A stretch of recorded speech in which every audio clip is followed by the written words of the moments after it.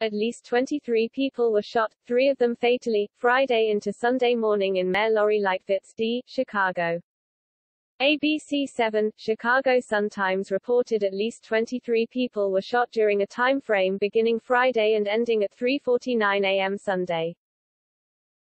There were three shooting fatalities, the first of which occurred at approximately 12.30 a.m. Saturday, when a 35-year-old woman was shot in the face after her boyfriend's gun accidentally went off. The fatal incident occurred at a party, in the 3700 block of South Wood Street.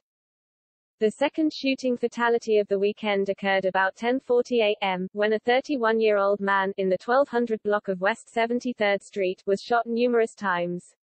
He was rushed to a hospital after being shot, and was pronounced dead. The weekend's third shooting fatality was discovered around 3.15 a.m. Sunday, in the 4400 block of West Monroe Street. The victim was a 29-year-old man whom police found lying on the ground with gunshots to the chest. Breitbart News noted at least 22 people were shot, four fatally, last weekend in Mayor Lightfoot's Chicago.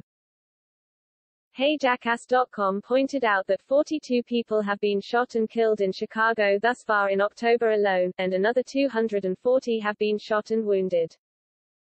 There have been nearly 660 shooting fatalities in Chicago this year.